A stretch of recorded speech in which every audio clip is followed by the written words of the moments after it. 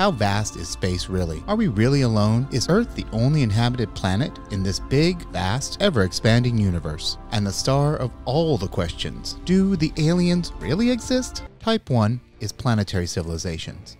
It can harness the energy from nearby stars while collecting and storing the energy for later use.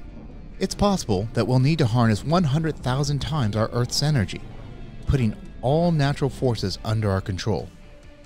Just like how we use and store the solar energy to generate electricity, mine petrols, and oils. Type 2 controls not only the transformation of light into energy, but also the entire level of control known as stellar culture. With an imaginary device known as the Dyson Sphere, its biggest benefit is that it catches all the energy from the starlight and stores it for later use. We can make an example of the mills that save energy for later use.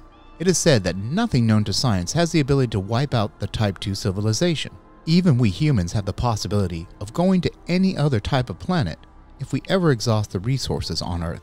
Type 3 is the galactic culture, a cosmic civilization. This civilization could develop self-replicating robot colonies as they colonize stars across the galaxy. The species here could build Dyson spheres as they move across the galaxy, colonizing stars after stars.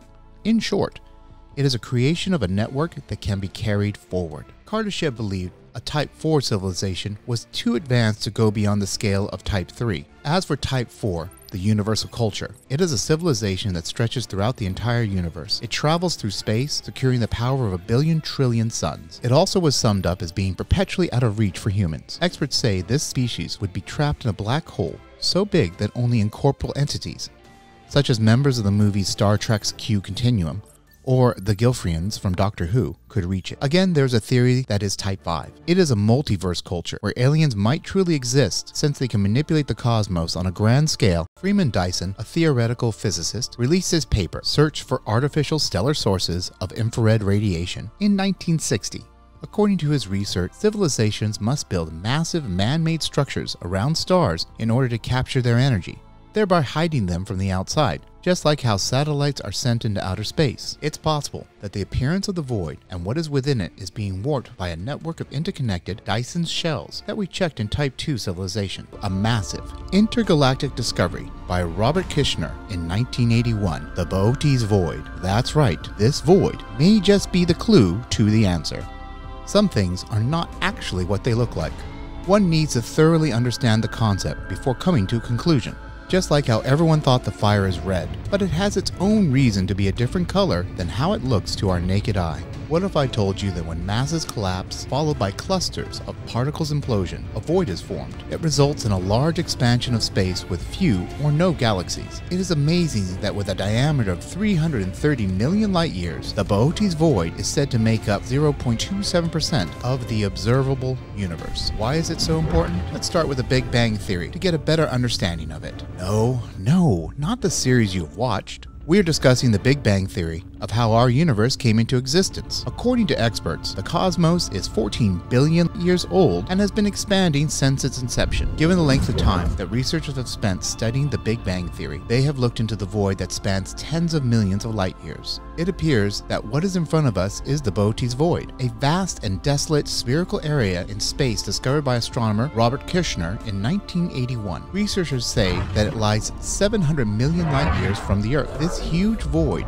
is believed to be at least 10 times larger in size than it should be, given the years the universe has seen. Right now, probably wondering how big the super void would be. It's huge in a way we can't imagine. It has a diameter of 330 million light years and is 0.27% of the visible universe's diameter. What if I told you the universe's biggest known vacuum as it is? So imagine it to be that huge. In the days following the discovery of the Boötes Void, experts realized how wide and gigantic it is. At first, only 8 galaxies were found, but it quickly grew to 60. It might seem like a lot, then try thinking about stumbling upon objects 60 miles long, stretching across a region the size of the continental United States.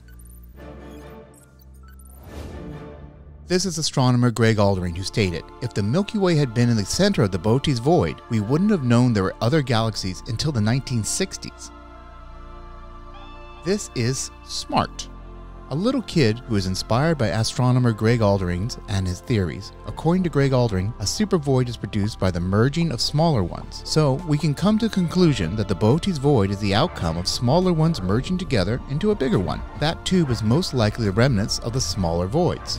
Do you know about Nikolai Semyonovich Kardashev from Russia? He was one of the most influential radio astronomers of the past six decades. It's not the radio that is placed at the end of the classroom. Instead, it's a subfield of astronomy that studies celestial objects at radio frequencies and radio waves. Kardashev came up with an idea that the status of culture depends on two primary things. Can you guess what they could be? It comes at the cost of energy and technology. Nikolai Kardashev, an astrophysicist, has suggested that a civilization's technological development links to the energy it harnesses and forms. Imagine it this way you can't lift up a heavy object with less energy. Similarly, a culture's growth is a product of energy and technology. When we have a power bank to charge our batteries, it is a social system where we display that our technology derives energy from it. A power bank is just a small piece from the list of advancements. Similarly, the more energy society can produce, the more technologically advanced they are. When the energy and technology are harnessing together, then it has three base classes, each with an energy disposal level. And they could be divided into three main types.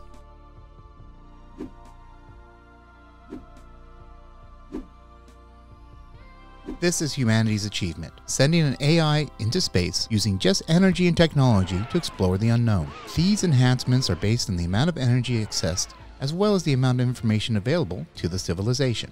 If you are wondering where we humans fit into this picture, well, we are a subglobal culture of Type 0, which derives its energy and raw materials from natural sources such as wood, coal, and oil. Various studies tried to solve the mystery, and experts came up with their own stories. Let's come back to the Boötes Void. According to the Kardashev 3 scale civilizations, remember when we spoke about the bubbles in the tube? Like the Dyson shell, this colonization bubble spread outwards from its home system, dimming each star that is close to it. Penn State University's Roger Griffith and co authors developed a list of 93 potential galaxies. He studied the emission of radio frequencies of the best galaxies. This system gave the most useful explanation by a natural cosmic process. An expanding zone of Dyson spheres would enclose all the stars in a galaxy. As for the outcome, it would be a black galaxy in visible light, but a highly brilliant galaxy in infrared, due to the Dyson sphere's waste heat. As the stars engulf an expanding zone in a colonized galaxy, it would grow black, like a blinding black. But experts haven't found any such galaxies yet. It is known that colonizing every next star is impossible, but most probably, a very advanced civilization will end up being dominated by machines and will abandon biology entirely entirely. Our Earth seems to be one of those. To summarize, there are galaxies inside the Boötes void. However, they are all organized in a tube shape, which is an uncommon creation. This suggests that the Boötes void was formed by the collision of smaller voids. There are various possibilities to every existing theory. There are several theories for everything. So time and time again, we can understand the piece of everything to nothing. So, what is the point that struck you the most about the Boötes void?